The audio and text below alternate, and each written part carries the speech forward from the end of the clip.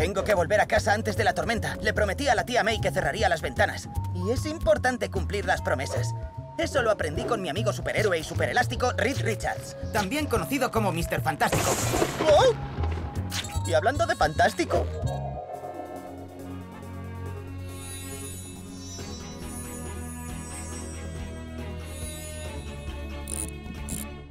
Gracias por diseñar este jet tan chulo para mí, Reed.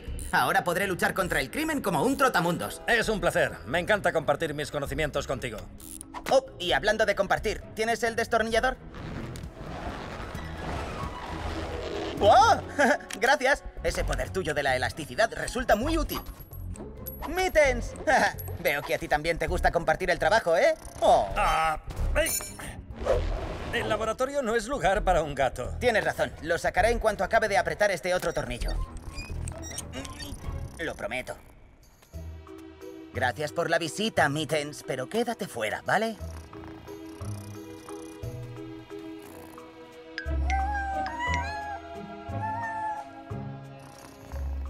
Uy. Bueno, prometí que te sacaría, pero no dije nada de dejarte fuera. Pero no te metas en líos. ¿Tienes los alicates? Eh, ahí van. ¿Los tornillos grandes? Oh, gracias.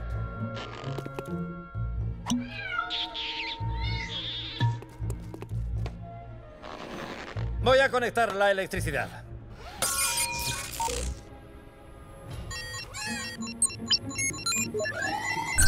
¡Oh! ¡Oh! ¡Oh!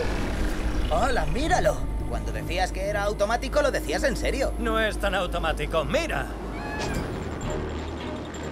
Prometiste sacar a Mittens. Y lo hice, casi. Tenemos que sacar al gato antes de que despegue el avión.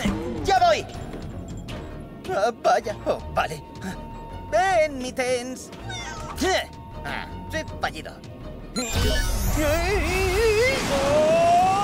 Ah, ¡Me estoy mareando! Intentaré dirigirlo desde aquí.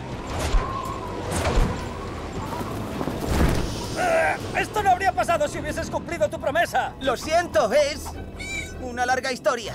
No tenemos tiempo ahora. Si el jet llega al espacio, estaremos en un lío. No te preocupes, prometo solucionarlo y cumpliré esa promesa. ¡Aguanta! No tengo otra opción.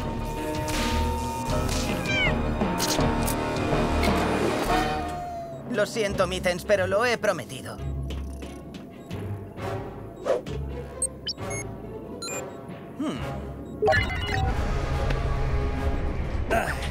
Gracias, Spider.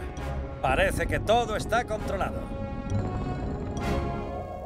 Es importante cumplir las promesas porque la gente cuenta contigo. Hasta la próxima, amigos. Nos despedimos ah, mojados.